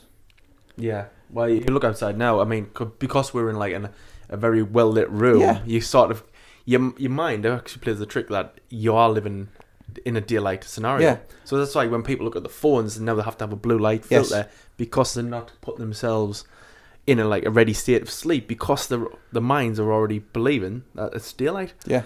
Yeah, so and it's not it's not it's not just your kind of conscious mind. It is actually your body chemistry. It's Yeah, it's a physiological Yeah. yeah. adaptation from Yeah. from the And light. And Yeah. we're talking about evolution before. We don't know what that's also doing to our, to our No. bodies as well. No, no. in terms of evolution as well. No, we don't, and then we don't even know what it's doing to us on an individual health basis over the course of our lives. You know, and that's the first step in that evolutionary question: Is it making us, you know, is it making us more or less able to survive as a as a society? Is it making us more or less able to survive as a, a you know to pass our genes on to the next It's, generation? it's interesting because at the minute, in terms of civilization, we're sort of still in that sort of infant stage sort of thing where we're doing all these changes that's coming down the line of like this this window of time that we've been having all this technology and immersing ourselves in this complete different environment compared to the hunter gatherer times this window is just it's literally tiny compared to that Yeah. Well, here's here's here's a maybe a slightly controversial thing to say then it's because, fraud in the fire. Because you know we we're, we're kind of there's there's an implicit kind of looking up to hunter gatherer societies here but hunter gathering still is dependent upon a certain level of technological advancement. Yeah yeah 100% you know so if if you're using any tools whatsoever if you're um, you know if you're using a bow and arrow to, arrow to hunt and you're making fish hooks and cordage and things from natural materials and you've made some baskets that you're putting food into while you're out on a walk you're using some level of technology which is you could you know some some somebody in hunter gatherer society might have been sat there just like us without the microphones though saying oh i don't know about these people all this modern technology yeah You've wrong. got people wandering around with baskets now, and they're you know they're going to get fat carrying on. They can collect so much food. yeah When I was a lad, we used to have to go out and just pick berries off a bush and eat them there and then. But then now people they've got peop- this basket technology, There'll and they be people in, in, in 30 years' time looking at this conversation and thinking, "Oh God, we, we I want to be them." Like seeing that we're the hunter gatherers with that, microphones. that that could be Look, the, them having that, to be that- in the same room together. Yeah. They can't telepathic thoughts. yeah, so, so but it's an interesting it's an interesting kind of just to throw it out there you know concept that even those s- comparatively simple ways of living Mm. like technologically simple are still somewhat reliant on the ability to have a level of technology The question for me though is how far does that go? Because it seems to me though that that form of what you're talking about in the past, it seems to be that was a more a sim I can't say the word a symbiotic relationship with that natural world. Like they were more interconnected. Where the the westernized machine now is just completely just bypassing that and thinking it's something so else. so so my question is are we conflating two different things then one is the technology and one is the connectedness with nature and the, and the, and the follow-on question is are, is it possible still to have a high level of technological advancement but be more connected with nature I definitely think it is. I Yeah, feel it that's is. the ultimate thing. uh, Can we have ever have the true balance? But it may have to, I'm actually sometimes think as well, and this is it's funny how it comes circle. But this is one of the reasons why I actually started getting into bushcraft. And this is one of the reasons how I found you as well, is Mhm. because I'm at the point where I'm thinking that civilizations have always come and gone. Mm. They've always not come and gone in a sense, but they've always come, and then there's been a shift or a cat- catalysm, like um, an asteroid hit. When there's research of asteroids hitting the planet or whatever it is, things have always co- come to the human species, and populations have dropped and fell, and that everything's always shifted in terms of the ge- uh, terms of life. So I'm actually thinking that, this is why I got into bushcraft, is because I'm always thinking that something hasn't happened for a while, and is civilization going to get to a point where it gets to this tipping point? We either do sort our shit out, which I don't think we're going to do yet, or something else comes along and makes us shift our trajectory, which I think may be possible. And that's what I'm thinking in the future. Maybe it's going to take something like I hope it doesn't do that, but there's a part of us where that does think it's going to be something like that. It has to come along and shifts the civilization to make us sort of go back in time a bit, be more connected. Then from that position, go right. Well, we can't do this same mistake again. We have to ch- do this, Mm. do that. And I mean, maybe that's what I think as well. To go a little bit deeper, that's what I think ancient cultures in the past might have been trying to tell us that they were at a point where they got to this cusp, they got too ahead of the head of themselves, and then something happened to them. And maybe that's what the pyramids are, the Mayan pyramids, ancient pyramids are trying Mm. to tell us, and that's going out there and deeper. But whatever. Well, I think I think so. Just just to sort of stick on the, the bushcraft track for a second, I, I I think there is real value beyond the kind of personal psychological connection with nature aspect of, of learning bushcraft skills. I think there's real value in maintaining that knowledge because it doesn't take very long. You know, you were you were asking before, Chris, about you know, could you go out and you know forage and hunt and things? Um, you, it's actually quite you know the the environment aside like uh, even if there was a nice natural environment out there that hadn't been messed around too much by agriculture and whatnot Mm-hmm. It's still a, a, a, a large amount of learning knowing what's edible what's not edible. And we have this and that's the, that's just the beginning point. You know there are mm. some things like you probably heard of deadly nightshade and you probably heard of death cap mushrooms and you probably you know these things that are very definitely poisonous. Mm-hmm. Like if you eat not very much of these things you're going to die. Yeah? And mm-hmm. so there are those things out there. And then there are things out there like you know raspberries and blackberries and things which as far as we know you can eat as many of them as you like. Okay Yeah. if you eat too much fruit you might get a runny tummy or what have you but there's no long-term health problems uh, maybe other than a bit of sugar in your teeth and whatnot but it's just like there's nothing there's no amount of that chemically that's going to do you in. Yeah Yeah. yeah. But there's a lot of stuff in the middle as well. You know we have this there's a simplistic view that stuff's either poisonous or it's not. Yeah and actually there's a lot of stuff in the middle. So some things are poisonous at certain times of the year and not others. Oh wow. yeah some some plants are either very you know they can be quite toxic in the spring before they flowered because it's a defense mechanism so that they can procreate. They mm-hmm. can Yeah. live long enough that their flowers can they bloom they can pollinate they can seed etc etc and so their toxicity dies off over time. Other plants actually build up toxins in their seed pods over time. So like a lot of the pea family if you eat them green some of them can be you know quite Yeah. fine to eat. But if later on they can build up certain toxins which are not very good for you.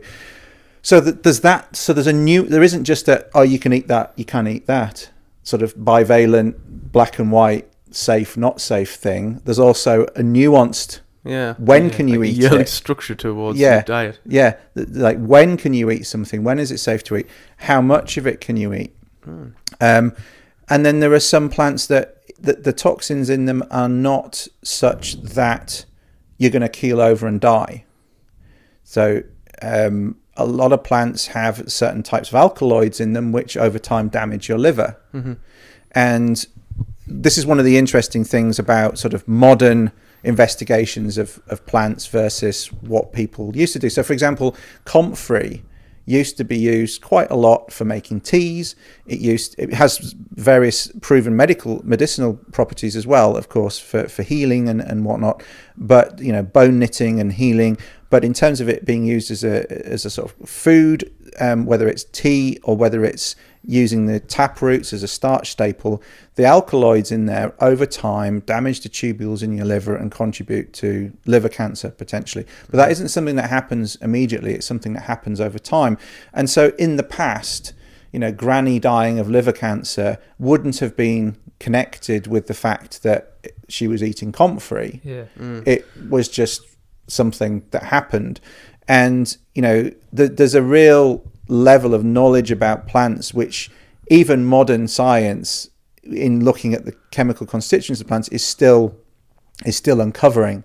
And you know a lot of a lot of things would have been known anecdotally and it would have been passed on from from you know generation to generation like don't eat this food if you're starving. And they wouldn't have known why but modern society modern science has shown that this this plant contains something called thiaminase in it which stops your body from using thiamine properly which means you can't metabolize carbohydrates properly which means that if you're in a starvation situation and you try and eat carbohydrates when you've been eating this plant, you don't get the benefit of the carbs. So mm-hmm. you're better off not eating this plant and just eating the carbs as and when you find them. And so th- some of this knowledge would have been passed on through trial and error, but it's like the evolutionary thing. How many people would have had to have been ill or died or, you know, had other problems by trial and error to get mm. to that level of knowledge. And if you don't pass that knowledge on, how many generations does it take for that knowledge to completely disappear? Yeah. Well, not very many. And so I think mm. one of the, you know, so the, this knowledge, you know, not just, you know, beyond the basic, oh, you know, my mate Dave ate these mushrooms and he died, you know, Jim ate these mushrooms and he didn't. You kind of know that one's not safe and that one is safe mm-hmm. at least in, Well, the in one is, instance. how many mushrooms is a Well, there's civilization that, do we have to eat? Well, exactly. So then, so then there is there's a Magic more, there's, there's more a nuance. There's a more nuanced, you know, level of knowledge. You know, so mm. a lot of people just think, oh well, I just need to learn what I can eat and what I can't eat. But the problem is that there's a lot more. There's a lot more to it. Once you get into really surviving and living off the land, there's a lot more to Yeah, that, what- and the level what- of knowledge. What I mean is, though, sorry, is just to reiterate, is I Yeah. mean, how many mushrooms is you uh, using that as a metaphor? How many mushrooms as a technological civilization before we do just crumble? How many mushrooms in the sense of whatever we're doing do we have to eat before we Uh, eat too many in this aspect, mushrooms? yes, and then the civilization just goes boom. Absolutely. Yeah. Yeah. Well, it's a it's an interesting question. Yeah. And particularly in terms of you know polluting our polluting our environment. You know, it's like you know how much of modern disease is down to modern society. You know, and how much of it is down to. So this goes both ways, doesn't it? It's like how much how much of modern say cardiovascular disease and cancer and all these other things that seem to be prevalent in the developed world are down to the environment that we're living in, it, in like in terms of positive additive effects like pollution, Yeah. um, you know, chemicals in our food, chemicals in our water, chemicals in the air that we breathe, etc. And how much of that is down to us just not living naturally and getting the right amount of exercise and eating lots of different phytochemicals and lots of different minerals and micronutrients and things. So there's there's a kind of additive of additive destructive effect of modern society and a, and and there's also a negative kind of reductive having been removed from from nature and it, it's hard to unpick all of that. Yeah, when you, when you were saying when we were talking before about the like sort of like the the comparison of sort of the artificial world versus nature, and you you said before about the story about how that when you were in the woods for so long, you felt the cycles within your own body and your mind changing and things like that. Do you, with you, when you do immerse yourself in nature and then you come back to the modern day world, let's say, mm. like we'll use that as a context, do you ever get to a point where you f- you do feel that tipping point where you you're immersing yourself too much in like an artificial world and you you there's something within inside yourself saying, "Come on, you need to go to the woods today." Do you? How do you manage that balance no, point? Do you no. feel I mean, uh, I, I I find it easier to flip backwards and forwards now than I used to. But one really dramatic thing I remember was the first time I really properly studied tracking, and I went and did it. I did a tracking course, and we'd all week. It was a week long course, and all week we'd you know really focused on our using our senses to their utmost you know like really you know and, and a number of different lots of different exercises at the beginning in terms of isolating different senses and exploring the different you know tastes and exploring smell and exploring how much we could hear doing lots of observational exercises and then moving on to the the you know the tracking. And you know a lot of people have this impression and some of it comes from hollywood movies of what tracking is but ultimately it's just about noticing small changes in the environment. You know if some if, if a deer's walked through an environment it's going to cause some disturbance. And sometimes yes it's a very clear hooved you know cloven hooved footprint and you can see that in some soft sand or mud or what have you. But other times and it's the same with people walking through you know it isn't always a nice clear boot print. It could just be some bends on the blade of grass. It could be a bit of mud that's been transferred from a puddle hmm. onto some onto some leaves or what have you. That mm. that is you know it's some disturbance to the environment which is not normal. It could be a leaf that's turned over that's dark green on the surface and there's light green on the underside and it's not normal for the underside to be you know shown pointed upwards but something has moved that aside and it's got caught on something else and it hasn't reverted to its proper normal position. So mm. it's just noticing small changes in the environment is how you pick up on where something's walked, where it's sat, where it's done anything. And then you learn to methodically follow that and differentiate between fresh and old and all those sorts of things. But again, ultimately, it's just about noticing differences and nuances in the environment. So you become very focused on small details that you would you weren't otherwise previously aware of. Um, or at least your brain would have filtered out because we spend a lot of time filtering things out. You know what's relevant, what's not relevant, um, and, and and it's most noticeable that we do that with listening. You know, with our hearing. You know, we can we can be sat in. You know, there could be twenty other people in this room. It would make the recording a nightmare, but there could be twenty other people in this room having different conversations, and we could still focus on this conversation if we wanted to. We've got that ability to selectively listen Mm. to things, but we actually do that all the time. When you're walking down the high street, you don't take in fully every different noise that is going on around you. You kind of close things off. And one of the things when you go to the woods, you kind of have to unlearn that a little bit. You have to sort of move out of that operating system and into a different operating system where you're actually more open to, you know, Yeah. what's that little rustling noise? You know, okay, well, it's a robin that's just landed behind me and he's looking for crumbs or whatever because I'm eating my lunch. You, you actually start to pick up on really small noises and really small changes.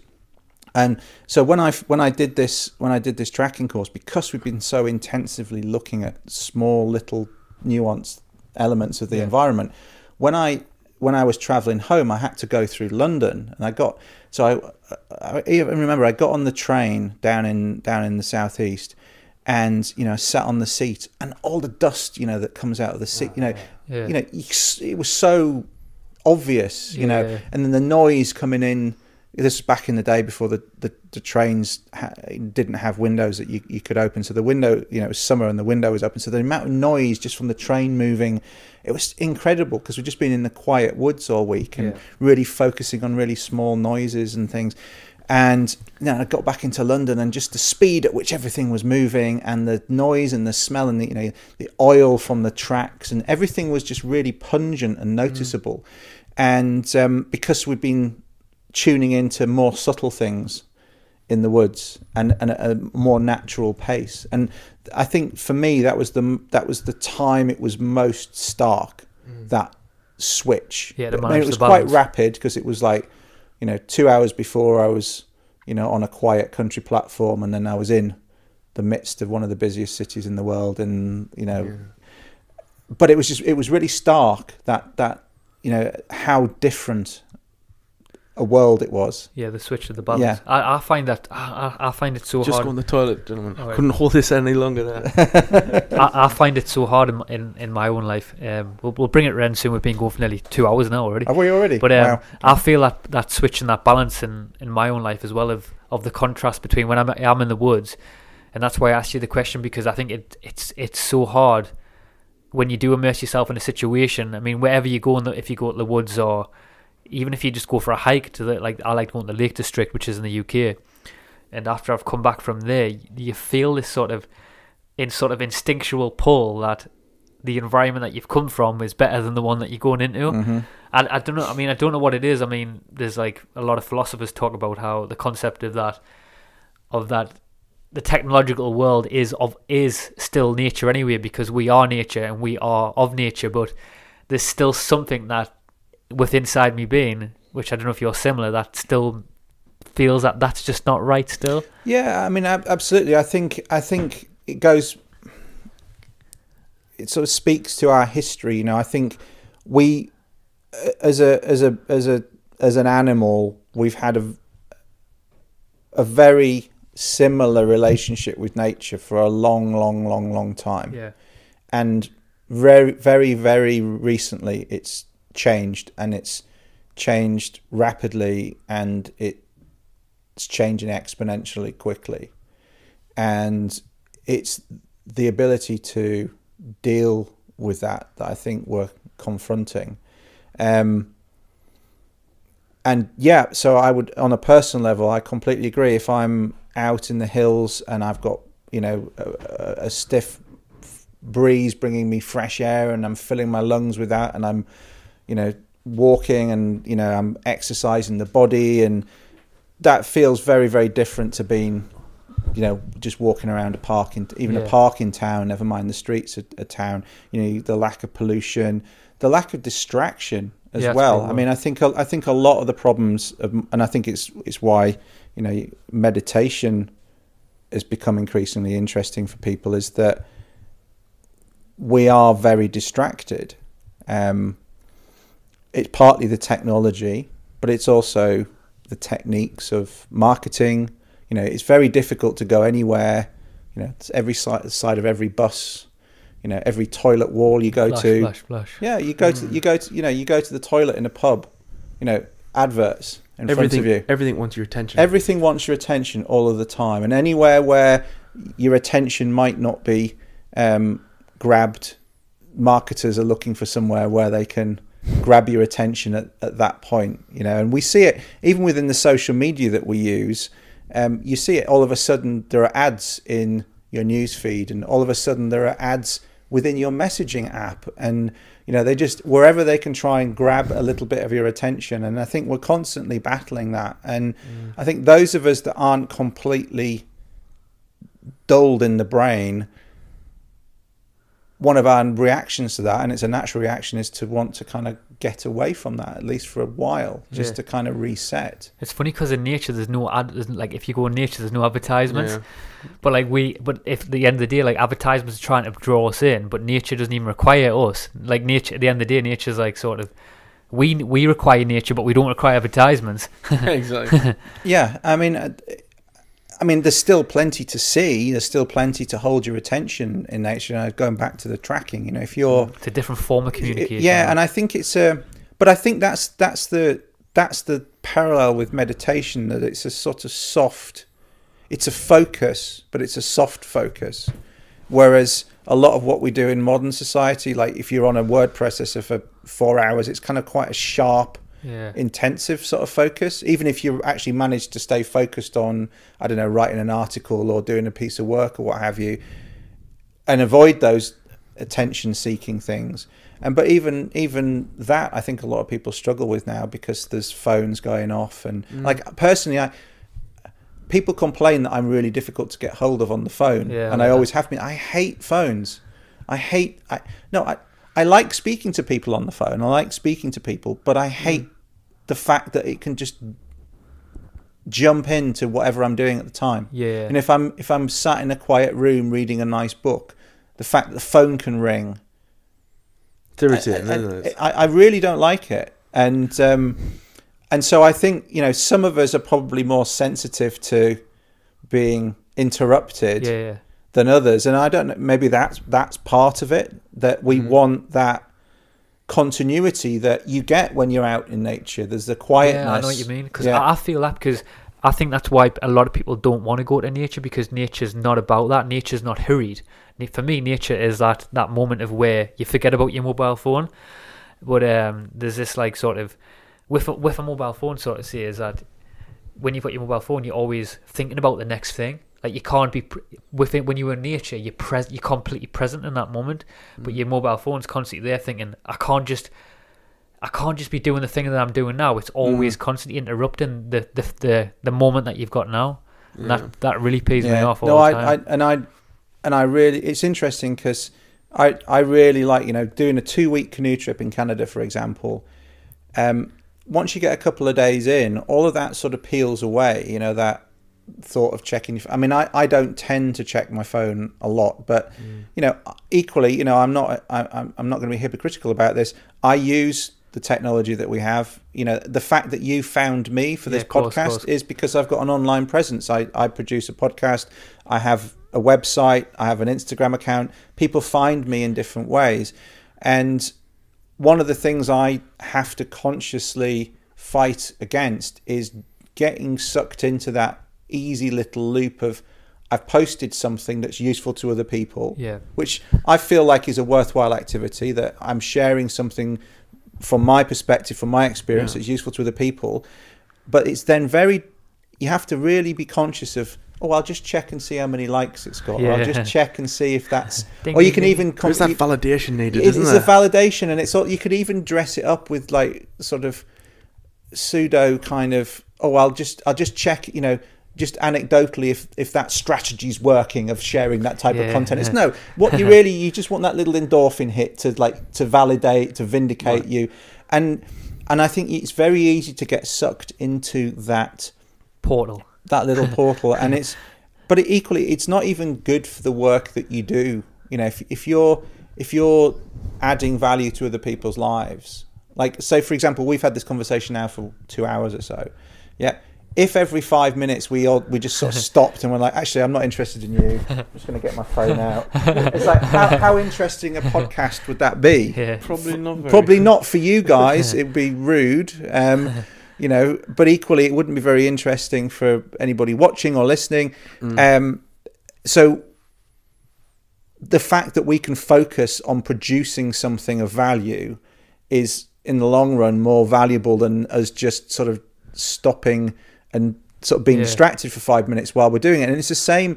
It, it's easier to do when we're working collaboratively, like we are here to produce something. It's harder to, to not have the distractions. You know, like if I was working on a, a piece of work myself, like writing an article or doing a blog or even, you know, researching something Yeah. for a, a podcast interview, it's harder not to kind of, I'll just check my Facebook account. Yeah. Just check.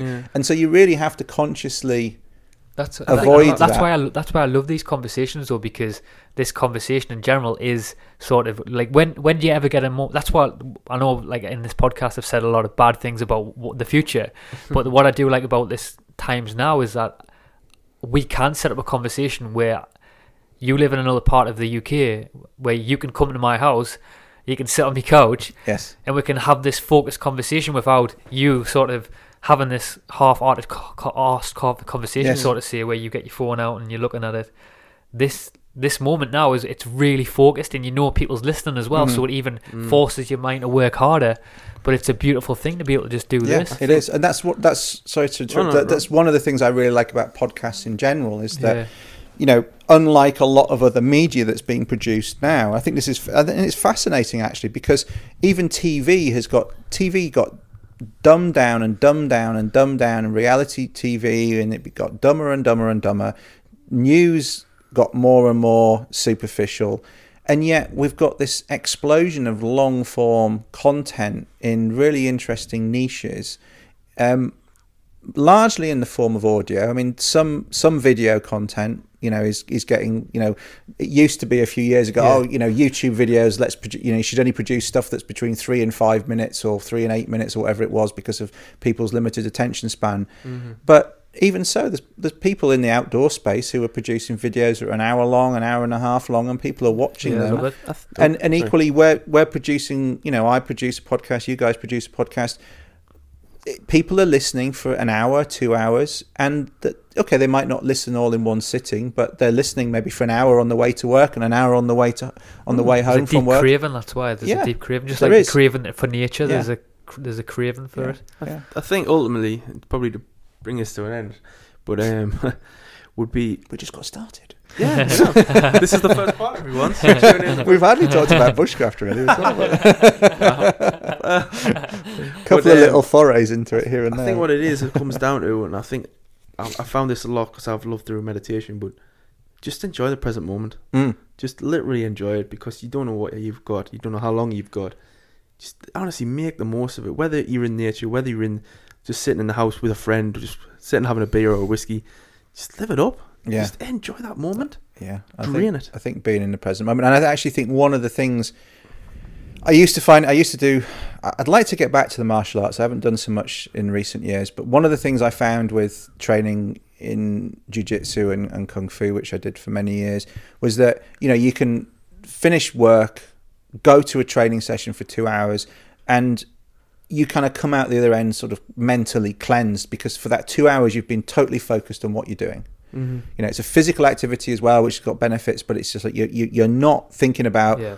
all the office politics or whatever it was that you just had to deal with during the day you're not worrying about what you're having for tea you're not worrying about your shopping list because you get punched in the face or you're going to hurt yourself or you're going to hurt somebody else or you're not going to hear what instructions you're being given. You have to be focused on what you're doing and you be and that that was a real night it's almost like a kind of waking sort of meditation that you're focusing on doing one thing and i think that's kind of one of the benefits. If you can same with you know paddle you know going canoeing for the day. You know if you're paddling down a river for the day you're focusing on what you're doing. You yes you are being distracted in sort of air quotes by the trees and the plants and oh there's an eagle or there's a, an otter or you know like uh, paddling down the Tees the other day and we saw a mink. And it's a non-native species and yes they eat the fish and they can damage fisheries and stuff but it's a beautiful creature you know and it's there on the bank and it's curious about us you know beautiful little you know eyes and shiny coat with a little white you know chest markings and